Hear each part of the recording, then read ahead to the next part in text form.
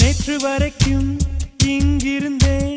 இன்றன் தமிழில் இணைந்த அனைத்து நல் உள்ளங்களுக்கும் அன்பான வணக்கம். இன்றைக்கான வீடியோவில் இப்போது நீங்கள் ஸ்க்ரீனில் பார்க்குற மாதிரியான மியூசிக் பிளேயர் டெம்ப்ளேட் எப்படி இன்ஷாட் ஆப்பை யூஸ் பண்ணி எடிட் பண்ணுறது அப்படின்னு சொல்லிட்டு தான் இந்த வீடியோவில் பார்க்க போகிறோம் வீடியோ ரொம்ப சின்னது தான் எடிட் பண்ணுறதும் சிம்பிள் தான்.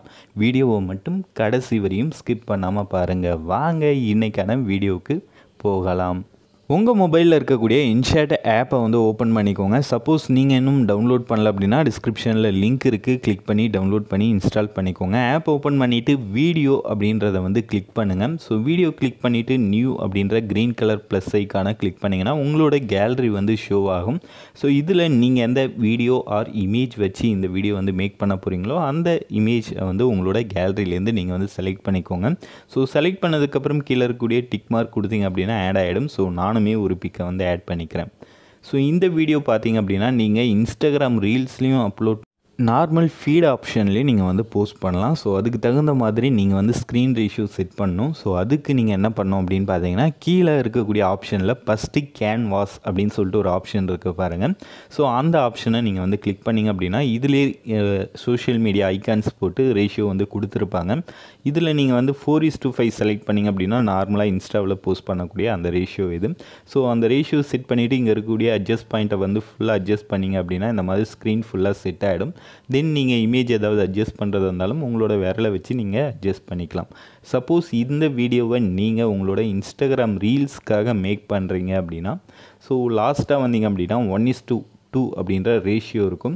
ஸோ இந்த ரேஷியோவில் கூட உங்களோட இமேஜை நீங்கள் கன்வெர்ட் பண்ணிக்கலாம். அதாவது அந்த ரேஷியோ செலக்ட் பண்ணிங்க அப்படின்னா ஆட்டோமேட்டிக்காக ஸ்க்ரீன் ரேஷியோ மாறிடும்.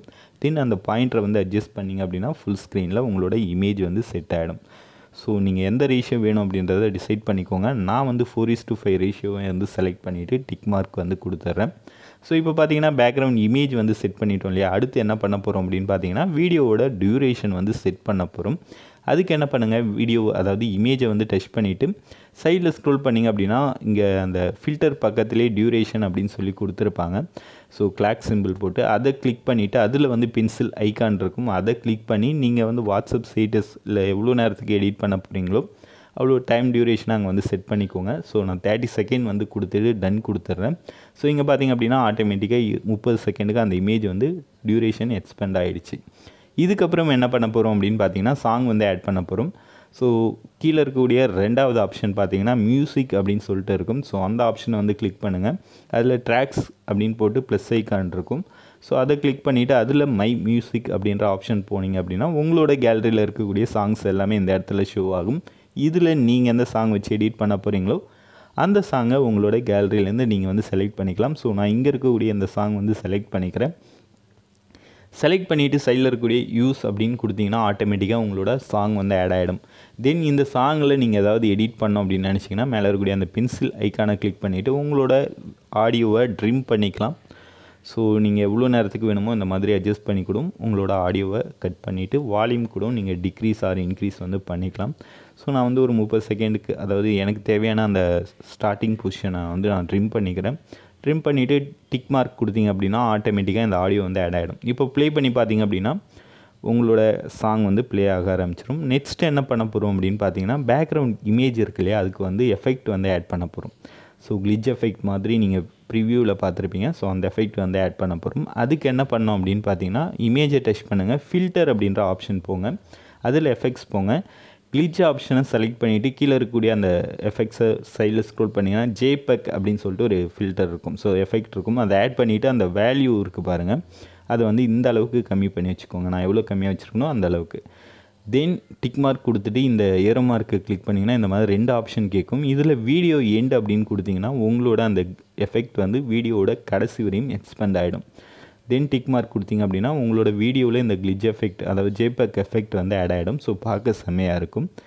இதுக்கப்புறம் என்ன பண்ண போகிறோம் அப்படின்னு பார்த்தீங்கன்னா மியூசிக் பிளேயர் சிம்பிள் வந்து ஆட் பண்ண போகிறோம் அதாவது மியூசிக் பிளேயர் அந்த பேக்வேர்ட் ஃபார்வர்ட் பட்டன்ஸ் வந்து ஆட் பண்ண போகிறோம் அதுக்கு இங்கே இருக்கக்கூடிய அந்த ஸ்டிக்கர் ஆப்ஷனை வந்து கிளிக் பண்ணுங்கள் அதில் ஃபஸ்ட்டே பார்த்தீங்க அப்படின்னா உங்களுக்கு இமேஜ் சிம்பிள் வந்து கொடுத்துருப்பாங்க. அந்த இமேஜ் சிம்பிளை நீங்கள் வந்து கிளிக் பண்ணிங்க அப்படின்னா இங்கே பாருங்கள் ஒரு ப்ளஸ் ஐக்கான் இருக்கு இல்லையா? ஸோ அதை வந்து கிளிக் பண்ணிங்க அப்படின்னா உங்களோட கேலரி வந்து ஓப்பன் ஆகும். ஸோ நீங்கள் அங்கே போயிட்டு உங்களுக்கு தேவையான இமேஜஸை நீங்கள் வந்து செலக்ட் பண்ணிக்கலாம்.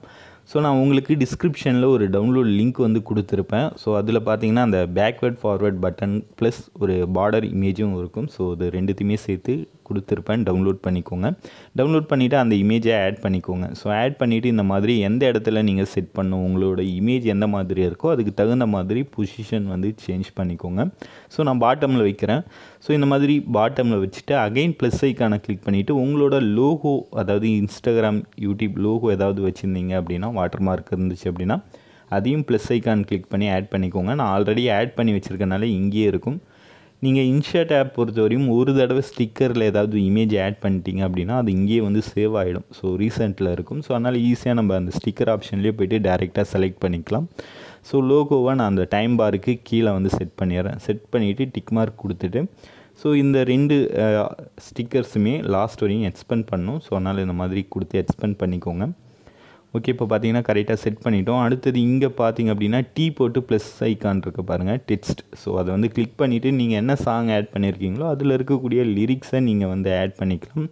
ஸோ நானுமே ஆட் பண்ணியிருக்கக்கூடிய சாங்க்கான லிரிக்ஸை வந்து ஆட் பண்ணிக்கிறேன். ஸோ நான் இந்த வீடியோவில் ஆட் பண்ணியிருக்கக்கூடிய ஃபாண்ட்டோட லிங்க் வந்து டிஸ்கிரிப்ஷனில் தரேன். வேணுன்றவங்க டவுன்லோட் பண்ணிக்கோங்க.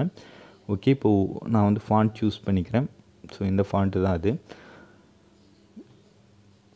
ஃபாண்ட் சூஸ் பண்ணதுக்கப்புறம் டிக் மார்க் கொடுத்துருங்க. கொடுத்துட்டு அந்த ஃபாண்ட்டோட அதாவது டிக்ஸ்டோட சைஸை கரெக்டாக அந்த ஃபார்வர்ட் பேக்வர்ட் பட்டனுக்கு தகுந்த மாதிரி கொடுத்துட்டு அட்ஜஸ்ட் பண்ணிவிட்டு இந்த இடத்துல இப்படி செட் பண்ணிவிடுங்க ஏரோ மார்க்கு கிளிக் பண்ணி இந்த டெக்ஸ்ட்டோட டைம் டியூரேஷனையும் வீடியோவோட எண்டு வரையும் எக்ஸ்பெண்ட் பண்ணிவிடுங்க தென் என்ன பண்ணுங்கள் அகைன் ஸ்டிக்கர் ஆப்ஷன்லேயே அந்த ப்ளஸ் ஐக்கானை கிளிக் பண்ணிவிட்டு நான் டிஸ்கிரிப்ஷனில் சொன்னேன் இல்லையா உங்களுக்காக ஒரு பார்டர் இமேஜ் வந்து கொடுத்துருப்பேன் அப்படின்னு சொல்லிட்டு.